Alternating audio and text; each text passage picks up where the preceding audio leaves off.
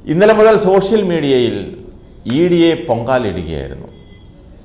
കോടതി ഇ ഡിയെ കണ്ടം വഴി ഓടിച്ചതാണ് പൊങ്കാലയ്ക്ക് കാരണം. പ്രതിപക്ഷ നേതാവ് വി ഡി സതീശൻ കൂടി ഇ ഡിക്കെതിരെ പറഞ്ഞപ്പോൾ യൂത്തന്മാരും സഖാക്കളുടെ കൂടെ കൂടി. കിഫ്ബി കേസിൽ ചോദ്യം ചെയ്യലിനായി തോമസ് ഐസക്ക് ഹാജരാകേണ്ടതില്ലെന്ന ഹൈക്കോടതിയുടെ താൽക്കാലിക വിധി ഇ ഡിക്കേറ്റ തിരിച്ചടി തന്നെയാണ്. രാഷ്ട്രീയ എതിരാളികളെ നേരിടാൻ കേന്ദ്ര ഏജൻസികളെ വ്യാപകമായി മോദി സർക്കാർ ദുരുപയോഗം ചെയ്യുന്നതിനിടെയാണ് കോടതി വിധി വന്നതും. അത് ശ്രദ്ധേയമാണ്.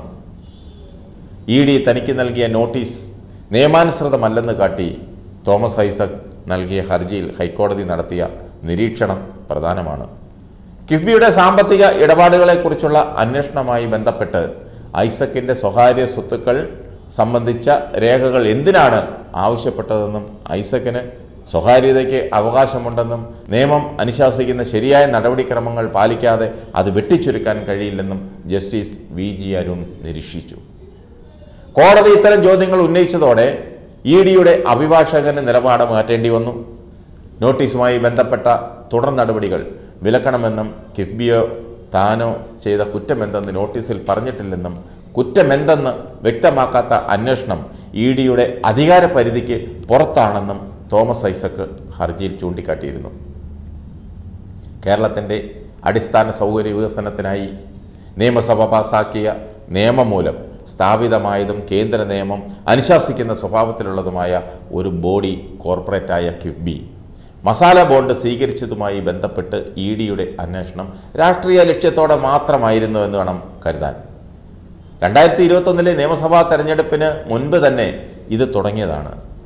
ഇ ഡി എ ഉപയോഗിച്ച് കേരളത്തിലെ സി പി എം നേതാക്കളെ കുരുക്കാൻ കഴിയുമോ എന്ന പരിശോധനയാണ് ഇപ്പോൾ നടത്തുന്നത്. അതിന്റെ ഭാഗമാണ് ഐസക്കിനെതിരെയുള്ള നീക്കം. ആദ്യം സ്വപ്നയെ ഇറക്കി. അത് ചീറ്റിയെന്നറിഞ്ഞാണ് ഇപ്പോൾ തോമസ് ഐസക്കിന്റെ പിറകെ കൂടിയിരിക്കുന്നത്.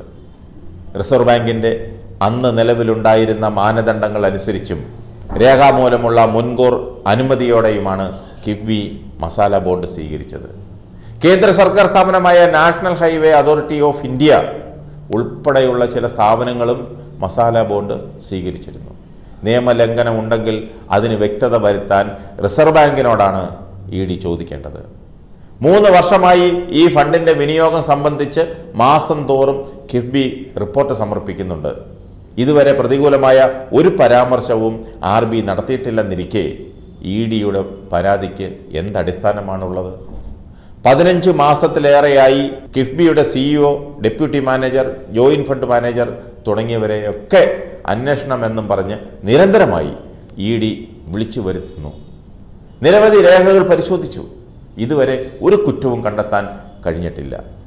രാഷ്ട്രീയ എതിരാളികൾക്കെതിരെ E D C B I N I A I T narcotics control bureau എന്നീ സമസ്ത ഏജൻസികളെയും മോദി സർക്കാർ യഥേഷ്ടം ഉപയോഗിക്കുകയാണ്. അവരെയൊക്കെ കേരളത്തിലേക്ക് പറഞ്ഞു വിടുകയാണ്.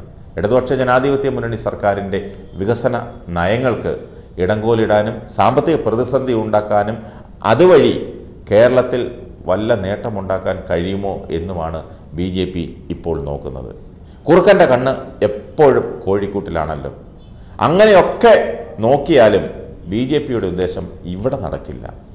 കേരള ജനത ആട്ടിപ്പായിച്ചതാണ് ഇവരെ. ഇനി സാക്ഷാൽ നരേന്ദ്രമോദി നേരിട്ടിറങ്ങി വന്ന് ഇവിടെ മത്സരിച്ചാലും ഒരു നേട്ടവും ഉണ്ടാക്കാൻ പോകുന്നില്ല. പിന്നെയല്ലേ മറ്റുള്ളവർ.